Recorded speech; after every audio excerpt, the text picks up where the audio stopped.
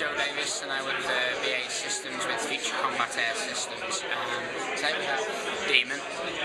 Demon is to a proof of a concept around um, taking the moving parts of a wing and making it more efficient by reducing the flight control surface.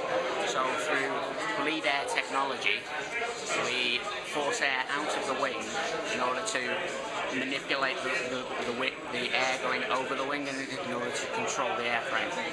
This technology is looking at being used on the outer fins of uh, commercial aircraft. So they're actually to make wings more efficient in the future, um, where in places where you can't put moving parts on a wing.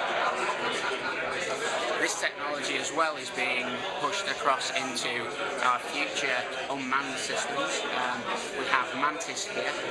Mantis is a production uh, prototype of what we would do with a MALE UAV. Um, this is helped by a concept demonstrator. This is to develop what we believe needs to be in a future medium altitude, long endurance UAV. Also in the future air system, the UCAS. This would, is what BAE Systems believe a future air system could look like.